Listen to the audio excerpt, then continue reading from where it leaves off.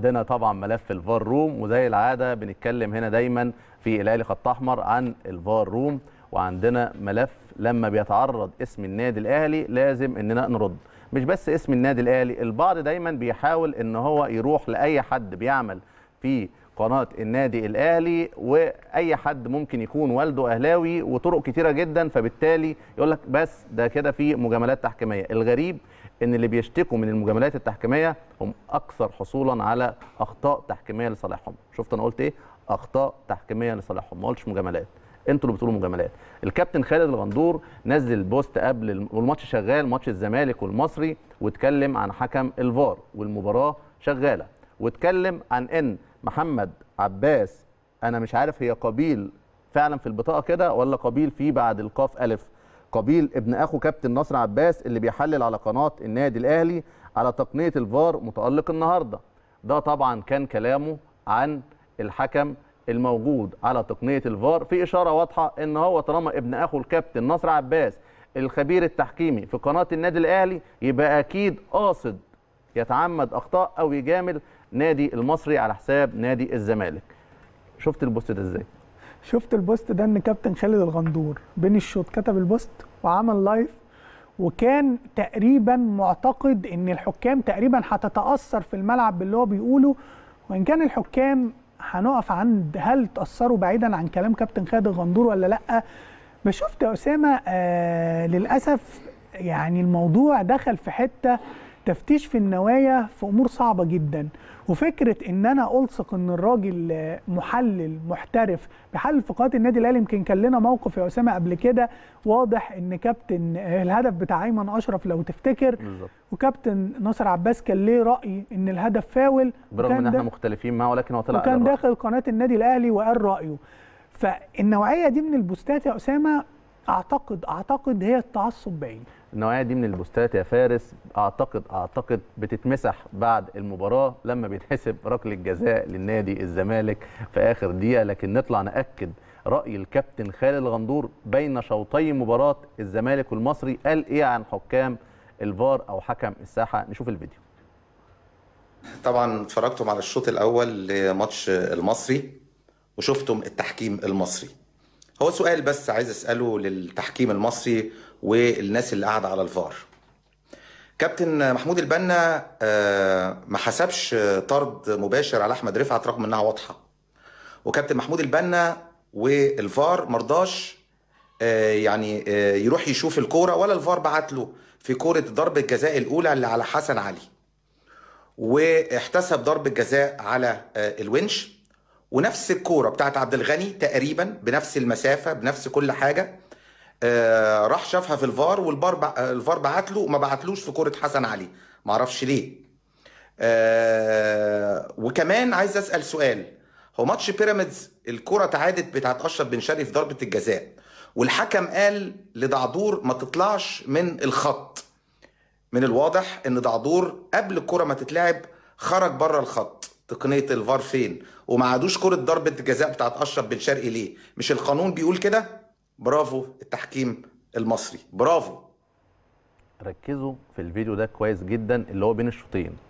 أنتوا متخيلين الكابتن خالد الغندور بيطالب بإن ركلة جزاء أشرف بن شرقي تعاد لأن دعدور اتقدم. هو صح هو صح. بس أيضا ركلة جزاء النادي المصري في نفس المباراة طارق حامد كان داخل منطقة الجزاء قبل ما لاعب آه، المصري يسدد على مرمى عواد اللي تألق وصد ركلتين الجزاء فبرضه كانت تعاد. لكن مش ده الهدف أو مش ده القضية اللي أنا عايز أقف عندها. أنتوا متخيلين بيضرب لكم مثل بضربة جزاء الزمالك في الدقيقة 91 أمام بيراميدز. متخيلين وصلنا لإيه؟ يعني ركلة جزاء أصلا مش ركلة جزاء زعلان إنها تعادت لكن مش زعلان إنها اتحسبت إنها ركلة جزاء بكل آراء خبراء التحكيم بما فيهم الموجودين في قناة نادي الزمالك إنها مش ركلة جزاء وإن أحمد سامي كانت إيده في محيط جسمه. يسيب إنها اتحسبت ركلة جزاء ويتكلم في الإعادة. طيب ده حاجة. الحاجة الثانية بيتكلم عن ركلة جزاء. كابتن خالد غندور شايفها إنها لصالح نادي الزمالك على حسن علي لاعب المصري. الرد جاي له منين؟ يعني هو ما فيش حتة في الفيديو ملهاش رد سواء ضربة الجزاء اللي زي ما أنت قلت شيء يعني يعني عايزين ننتقي ألفاظنا. يعني أحيانا الكلام يدفعك ل... بس فعلا إذا لم تستحي فافعل ما شئت. والله ده أقل حاجة تتقال. ولكن حتى ضربة الجزاء يا اسامه نفسها اللي هو بيقول عليها تعالى بقى نشوف الخبير التحكيمي في قناتك كان بيقول عليها إيه وملابسات الكلام اللي اتقال. نطلع ونشوف الفيديو. أول حاجة خالد إن إن طبعا آه، لاعب الأخضر هو اللي بيطلع الكورة. وبعدين بتصطدم بالأبيض وبعدين الكورة بتبدأ إن هي ترتفع وبعدين بتخبط في الجسم وبعدين بتخبط في الإيد. تمام. لو إحنا بنتكلم في ظروف عادية لو إحنا بنتكلم في ظروف عادية وبنتكلم في اعتبارات وبنقول إن الإيد بره الجسم. والكورة مرتدة تمام. آه. نكمل. ده ده بيطلع خلاص ماشي. وبعدين خبطت في الجسم بعد كده في الإيد.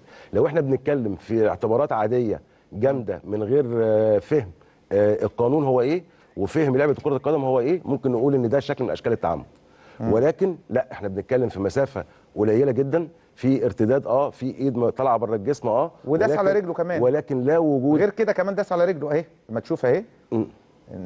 نزل اهي ونازل على رجله اهي. تمام؟ لا ممكن يكون نازل بره. تمام؟ ده ده يا خالد أنا شايف إن مفيش تعمد في في اللعب مفيش تعمد لمس يد. آه الكورة آه صامت باليد آه ولكن اللاعب ما عندوش فرصة إن هو يشيل إيده حتى لو كانت إيده بالشكل ده وحتى لو كان إيده بره جسمه ولكن ظروف اللعبة والوضع التشريحي للاعب في الوضع ده لا مفيش وجود للتعمد ومفيش فرصة ان يشيل إيده. وكان القرار باستمرار اللاعب كان قرار سليم البنا وتأكيد الفار معاه كان برضه قرار سليم. طيب. دي نموذج للحالات اللي بيجي المحكمين في أي seminars بتتعمل أو أي ندوات أو أي مناقشات تحكيمية بيشرحوا الفرق فيها يا أسامة ما بين الكرة اللي بتيجي في اللاعب نتيجة إن هو إهمال أو حاول يكبر مساحة جسم جسمه وما بين الكرة اللي فيها ارتداد اللاعب غير متعمد فيه اطلاقا وما بتحتسبش ضربات جزاء. اللقطة دي اللي كابتن خالد الغندور بين الشوطين قال عليها إيه؟ قال إن هي ضربة جزاء. هرد بكلمة واحدة قالها كابتن ياسر عبد الرؤوف وهو بيحلل. قال له اللي فاهم قانون واللي فاهم كورة هيعرف إن دي عمرها ما تكون ركلة جزاء.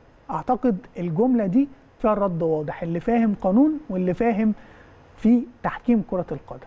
بص عشان نكون أمناء لأن البعض ممكن يختلف على الركلة دي وبعض خبراء التحكيم في قنوات أخرى قالوا إنها ممكن ممكن تحتسب ركلة جزاء. ولكن القصة كلها دايما هنا كالعادة بنتكلم في أي كره فيها مسألة جدلية فما ينفعش أجزم إن الحكم هنا متعمد مجاملة فرقة لأن حصل جدل في رأيين مختلفين لكن في آراء ما بيبقاش فيها جدل. ومع ذلك أنا بشفق على الكابتن ياسر عبد الرؤوف بالفعل لأن بيبقى واقع تحت ضغوط. فقرة ال- التحليل التحكيمي دي ضغوط كبيرة جدا لدرجة إن هو قال له إيه؟ بس لو ما جاتش في إيده هو داس على رجله. وهو نازل.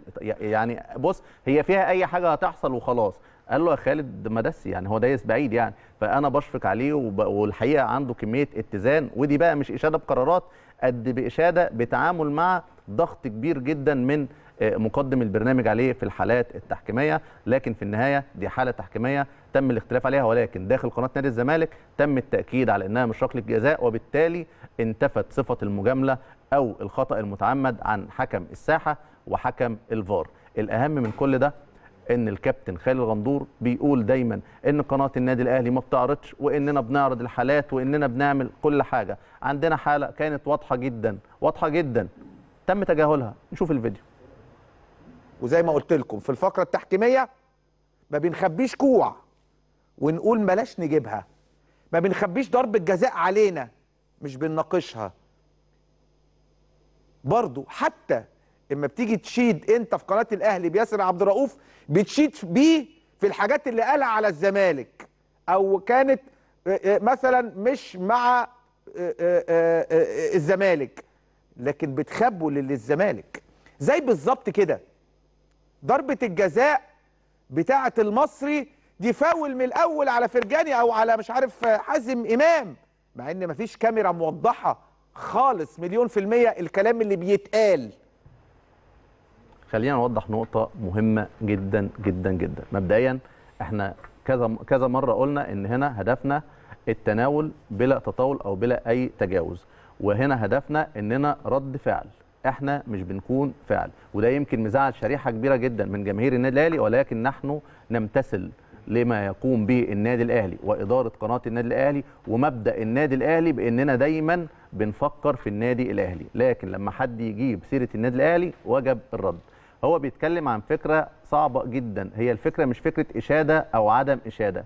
هي فكرة لما أنت تكون عندك قناعات معينة وأنا مش قادر أقول لك إن قناعاتك دي غلط فبجيب لك واحد قريب منك يقول لك إن قناعاتك دي غلط. بمعنى إيه؟ حد منتمي لنادي الزمالك اتكلم عن النادي الأهلي بشكل خطأ. فالأفضل أجيب حد من النادي الأهلي أو. يعني معروف بانتمائه للنادي الأهلي ولا حد كان كابتن مثلا تاريخي أو بيعمل في نادي الزمالك يقول لك اللي أنت بتقوله ده غلط.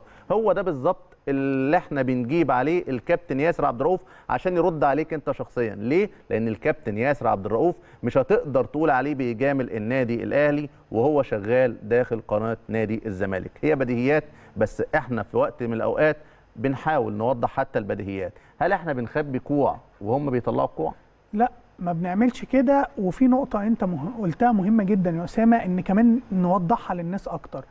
كابتن ياسر عبد الرؤوف وهو بينقد النادي الأهلي في حاجة أو بيحلل أنت واثق تماما إن هو الراجل هنا عمره ما هيجامل النادي الأهلي فيها داخل قناة الزمالك زي ما أنت قلت. إنما داخل قناة الزمالك لما يجي يقول لعبه على نادي الزمالك أو ضد نادي الزمالك في أي شبهة إن الراجل ده يكون وهو قاعد بيتعمد إن هو يظلم الزمالك؟ ما أكيد ده ده ده شيء مستحيل يعني مش داخل قناة الزمالك هيجيب لعبة الزمالك ليه حق فيها ويطلعه ماليش حق فيها. فعشان كده زي ما أسامة فهمكم فكرة الاستشهاد بده.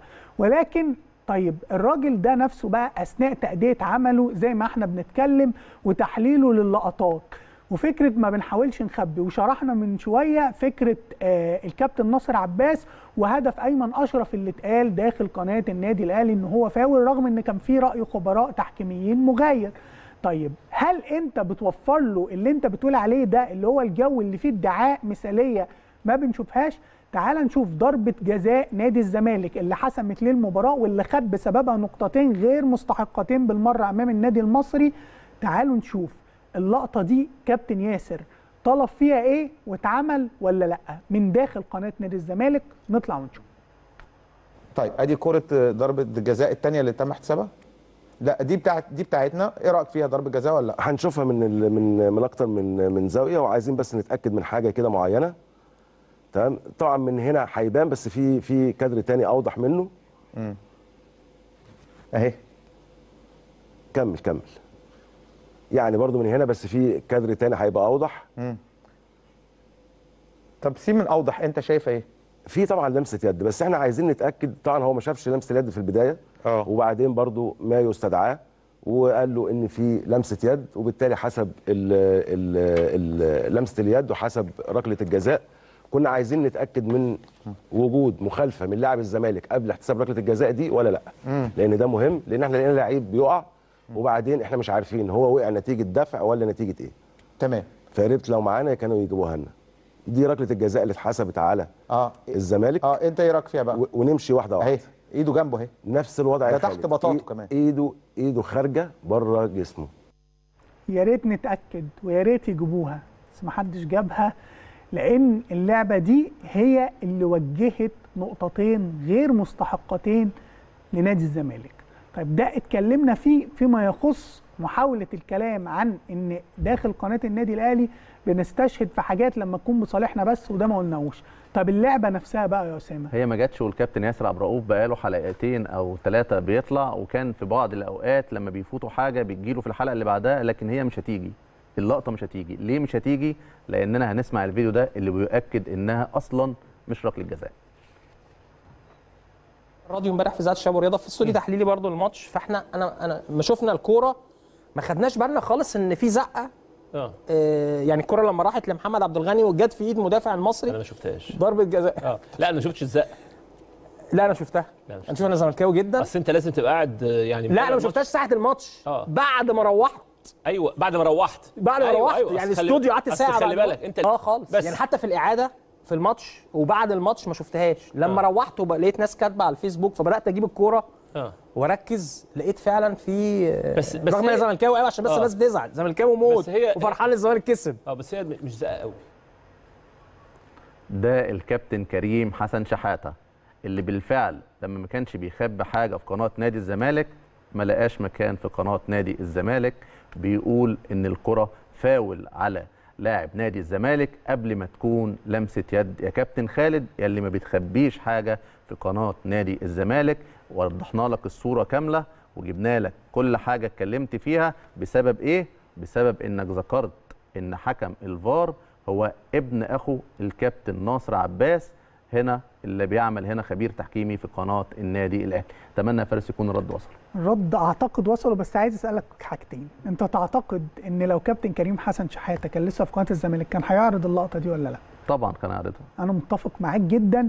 والحاجة الثانية رسالة لكابتن سيف. كابتن سيف من بعد المباراة ومن بعد اللعبة دي هو داخل الاستوديو مصمم إن فكرة يعني زقة كده. أنا مش عارف الخبير التحكيمي قدام كابتن سيف بيؤكد وكابتن سيف تقريبا بدأ يتأثر بضغوط كابتن حازم إمام وكابتن أيمن يونس وبدات المس ده في الاستوديوهات التحليلية. وأتمنى من لاعبي النادي الأهلي المحللين ياخدوا بالهم إن القصة ما بقتش تحليل بس ده في ناس بتوجه ناس لحاجات كتير جدا. ولكن نختم ده بقى إيه؟ بإن إحنا نجيب اللقطة اللي نشوف رأي الخبير التحكيمي فيها وهو كابتن أحمد الشناوي عشان نعرف اللقطة اللي ما اتعرضتش على قناة الزمالك كانت فيها ركلة جزاء مستحقة ولا كان في مخالفة قبلها. نطلع ونشوف كابتن أحمد الشناوي قال إيه عشان نبقى قفلنا الموضوع من بابه. هناك ركلة جزاء مستحقة على لمس اليد ولكن. يسبقها مخالفة. أيوه. مخالفة من آه، لاعب الزمالك ويدافع لاعب المصري. آه. هو كان كان من المفترض على ال على ال على الفار أن يقدم له يقول له في ركلة جزاء وفي فاول وبيشيك عليهم البنا. آه. الإجراءات دي اللي أنا بقولها لك المفترض تتم. أيوه. وكان طالما هو الب- البنا راح بس شاف إن في ركله جزاء. وشاف في دفع بيخش ويكلم آه، الكابتن الفرقه وكابتن الفرقه كان ليكوا ركله جزاء لا بس عليكم فاول من إنت. في آه. فاول قبل منها. ويستأنف بالفاول اللي هو على طب ما عملش كده ليه؟ ما أعرفش طب هل اللقطة بتاعت الفار اللي اتعادت؟ ما عرضلوش الفاول وعرضوا لمسه اليد. آه. أعتقد اللعبة كابتن أحمد الشناوي شرحها بوضوح إزاي كان فيها مخالفة قبل آه، ضربة الجزاء اللي جابت للزمالك نقطتين غير مستحقتين. ولكن أنا عندي سؤال لحكام مباريات الزمالك تحديدا. أنتوا وراكوا حاجة؟ يعني داخل مباراة الزمالك بيبقى وراكوا حاجة مستعجلين عشانها عايزين نخلص المباراة ونروح؟ والله بجد مش فاهم. كابتن محمد كانت في الدقيقة الحنفي الأخيرة. في الدقيقة الأخيرة صح. عايز يلحق يروح. لا في حاجة غلط والله. أنا مقتنع تماما إن في حاجة غلط وما عنديش حسن نوايا.